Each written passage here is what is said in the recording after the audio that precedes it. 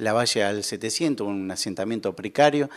Eh, llegamos para el lugar, nos encontramos eh, con una madre de 20 años, eh, con una criatura de dos años, de nombre Damari. la misma presentaba una lesión en la zona del rostro. Preguntado a la mamá, la mamá nos manifiesta que el día de ayer la nenita jugando arriba de la cama se cae,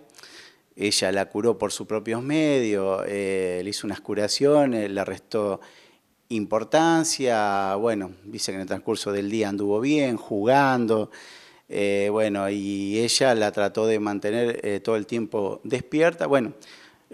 como te dije, le restó la importancia del caso y bueno, y en el día de hoy, cuando ella se dispuso para ir para trabajar, se despierta más o menos 8 de la mañana, y al ver a la nenita que ella estuvo jugando hasta altas horas de la noche, eh, la encontró sin vida. Eh, vino la médica de policía, la doctora González, la examinó, tenía el golpecito de la cara y también tenía eh, hematomas en todo el cuerpo.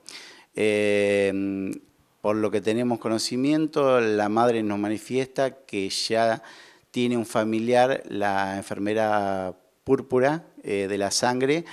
eh, y es similar a lo que la nenita tenía en todo el cuerpo. El doctor Lucente, eh, que está a cargo de la investigación, deriva todo al Instituto Médico Legal para autopsia, para descartar cualquier